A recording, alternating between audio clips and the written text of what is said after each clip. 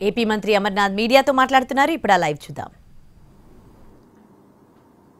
ఈ మాయిల్ పకీరు మీ మరిది గారు ఈ మాయిల్ పకీరు మాయలో పడి చివరికి రాజకీయంగా ఏం చేశాడు అనేటువంటిది మీ అందరికీ తెలుసు. ముఖ్యంగా మీకు తెలుసు.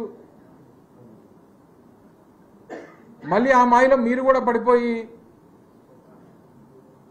మీ రాజకీయ భవిష్యత్తుని మీ వారిలా చేసుకోవాలనుకోవడం మీకు తాపత్రయం ఆ తా- రకంగా తాపత్రయం ఉంటే మేమేం చేయలేం. ఈరోజు రాష్ట్రానికి సంబంధించి అనేక అంశాలు మాట్లాడారు.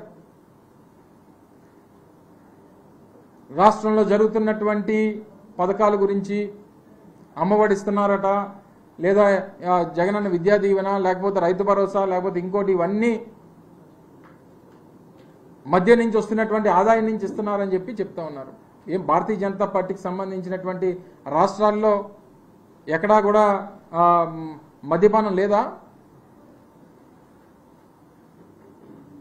ప్రతి రాష్ట్రంలో ఆ రాష్ట్రంలో ఉన్నటువంటి వివిధ విభాగాల నుంచి కొన్ని దగ్గర నుంచి రెవెన్యూ జనరేట్ అవుతుంది. రెవెన్యూ డిపార్ట్మెంట్ నుంచి రిజిస్ట్రేషన్ డిపార్ట్మెంట్ నుంచి వస్తుంది కమర్షియల్ డిపార్ట్మెంట్ నుంచి వస్తుంది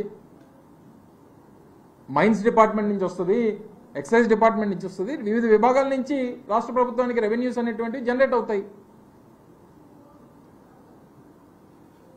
ఈ జనరేట్ అయ్యేటువంటి క్రమంలో ప్రభుత్వం తీసుకున్నటువంటి నిర్ణయాల్ని ప్రజలకు ఇచ్చినటువంటి హామీల్ని అమలు చేసేటువంటి క్రమంలో పథకాలు అమలు చేస్తుంటాం. ఈ అమలు చేసేటువంటి ప్రక్రియలో ఇదేదో కేంద్ర ప్రభుత్వం నుంచి ఇస్తున్నటువంటి డబ్బుల నుంచి ఇచ్చేస్తున్నాం. కొన్ని పథకాల్లో అయితే ఈరోజు ఉదాహరణ మధ్యాహ్న భోజన పథకం ఉంది.